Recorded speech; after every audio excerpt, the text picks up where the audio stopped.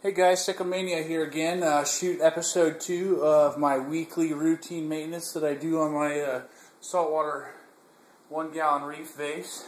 And uh, basically, what I first start doing is usually I'll turn my light off a couple minutes before I start working on it because it is kind of hot. But uh, I'll deal with it today. Um, first off, um, I went ahead and removed the lid already. And uh, basically, what we're going to do first is we're going to grab a, a, siphon hose for the face. And uh, basically what I'm going to do is suck a little bit of the water out for now so I can get my hand in there and work on my uh, corals, rearrange things that uh, might have fallen down this week. I also need to add uh, this duck bill to my pump. So uh, I just need to take a little bit of that water out first so uh, I can get my hand all the way down in there. So let's do that right now. So that's good. That'll be enough. We'll go ahead and set that over there. It looks like we got a little snail that's out of the water. We'll go ahead and uh, put him back in the water. So uh, I did say I was going to frag on this video. I'm not sure if I want to do that right now. Usually I don't frag when I'm going to suck the water all out because it pretty much sucks everything that's in that vase that's not attached to anything through that pipe. So what I could do is place it in this turkey baster. I'll see if I have a turkey baster in here. If not, I'll just frag later. Uh, doesn't look like I have one. So what I'll do is I'll shoot a different video later when I go to frag. So uh, basically what I'm going to do is I'm going to reach in there. I'm going to place this duck bill on my pump right now.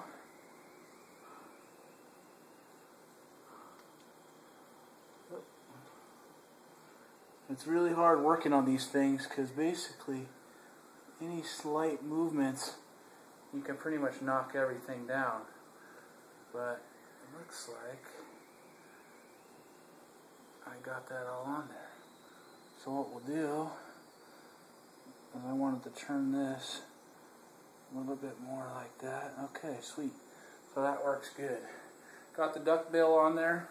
I noticed that my bird's nest is getting pretty close to my Kenya tree. They're touching each other. They're kind of having a little bit of, war, of a war. So I'm going to try to find a better spot for my bird's nest. It is quite big, and I noticed that um, they don't like that much light. So what I'm going to do, I'm going to go ahead and grab him and put him where I have this shell at. We'll try him out here. Hopefully he does good there not anything else in the way, so we'll see how that does. Alright, so that's done now.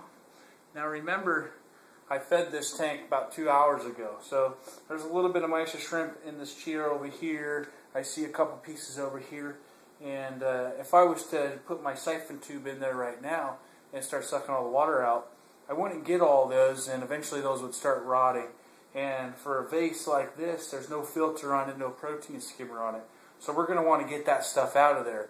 Uh, of course, I can leave a couple or a few of those behind for the inverts and the clown globy to eat, and uh, you know they'll take care of that before it causes any issues with my water. So uh, the best thing I've figured out to do is use a turkey baster, and uh, basically you use the turkey baster and you just go through and dust everything off, all your corals off, all the crushed coral down there you dust off, and basically we'll cloud up this vase, instead of it being clear, it'll be all cloudy, full of sediments, you know, solids that are in the water, you know, anything that's not uh, dissolved. And uh, when we do that, that's when we'll suck everything out, and uh, basically I'll grab everything that's out of there. So let's go ahead and start doing that. First things first, suck in some water into your turkey baster like so, and uh, just start lightly uh, dusting things off. And uh, this looks real good if you have any algae or anything anywhere, but uh, this tank doesn't have anything in here, so not too dirty. I noticed uh, that uh, this tank has actually been staying really clean. I got some mysis shrimp that are in here in this chia over here.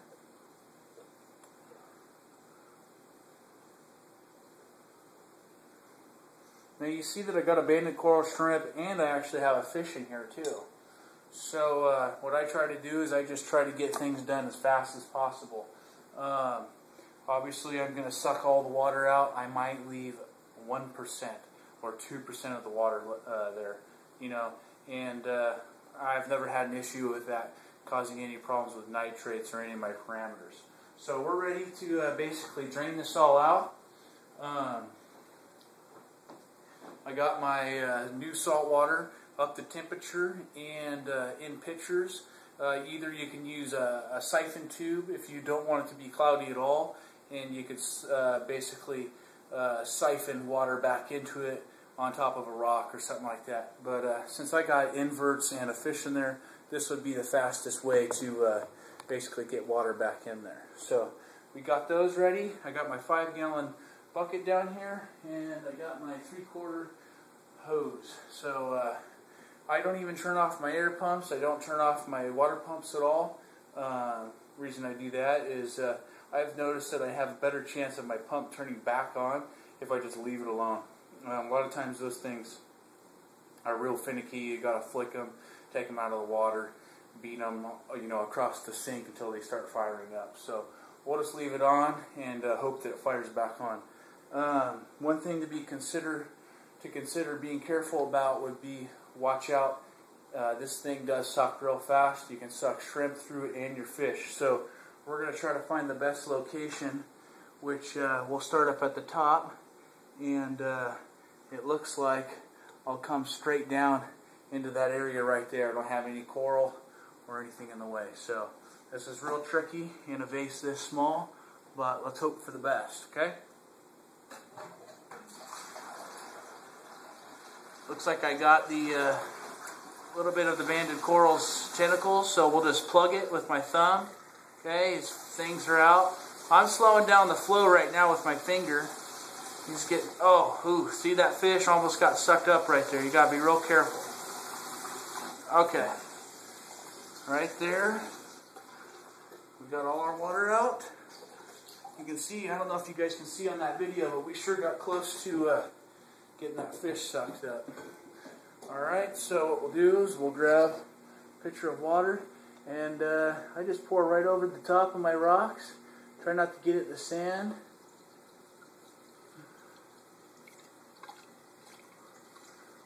And uh, basically what we're doing right now is we're putting in brand new salt water. I'd say this is pretty much a 100% water change out. And uh, that's the trick with these. Uh, of course, there's people out there that have Pico tanks that uh, basically do water changeouts. You know, hey, this is the easiest way.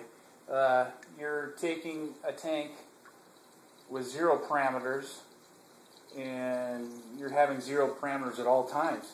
Uh, you can see I fed, two hours later I changed all the water out. So my parameters are still zero. Um, so there's no issues with anything going on. If I was to uh, basically fill this tank up, walk away, come back a week later, my parameters would still be zero. Um, I mean, literally, we've uh, been doing this maintenance here for probably about three minutes. And uh, altogether, you're spending six minutes a week or six minutes bi-weekly. Depends on how many times you want to do your water change outs. I like to do them every week just because I got fish in here, or a fish, and an invert, invertebrate, and uh, you know I like to feed them all. So uh, that was just under uh, a gallon and a half. So we'll go ahead and uh, I have a little bit more water. Get some more water over here.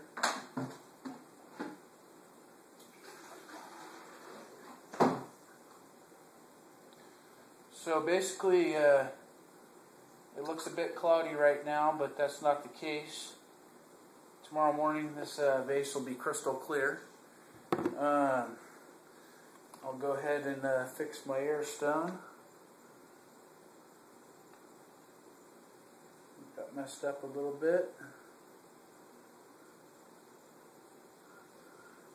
And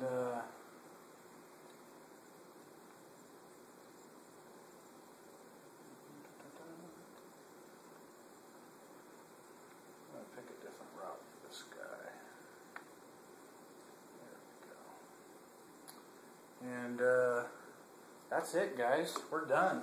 I'm going to go ahead and get a piece of cellophane real quick to put over my lid again.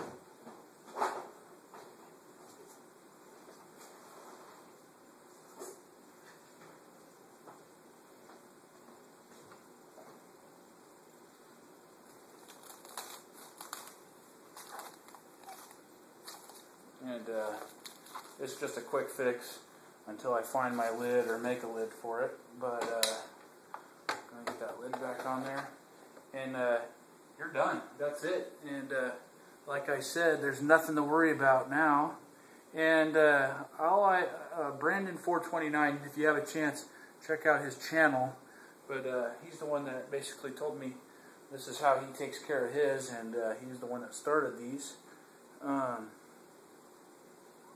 you will have more growth out of a vase like this than you will pretty much out of any other tank.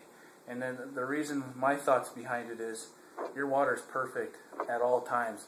And with coral, stability is what you want. You want to basically uh, have stability, and if you have stability, you have really good coral growth, maximum coral growth, and that's what everyone thrives for when they uh, they own their own reef tank and they want their corals to do good, and that's uh, basically keeping the water quality the same at all times, which uh, does affect coral growth. So uh, by having a vase like this, um, even though it's so small, um, it's never getting anything wrong with it. So, uh, with that said, that's all. That's all I have to say about these things. Um, real simple, uh, real easy to do, um, and uh, it takes all the guesswork out of uh, doing testing and all of that. So, by far, these are the easiest uh, saltwater tanks that you could ever have. Uh, instead of a 10 gallon, 20 gallon, or even a 200 gallon tank, these are by far the easiest and the cheapest. Uh, altogether, I mean, I just spent a dollar twenty-five on salt right there, and uh, I do that four times a month. So you can do the math right there. Not a lot of money. So hope you guys enjoyed, and uh, hope this helps you guys start your own. Uh, you guys uh, post any comments if you guys have any questions or concerns, and uh, I'll try to get get back to you guys as soon as possible. Thanks, guys.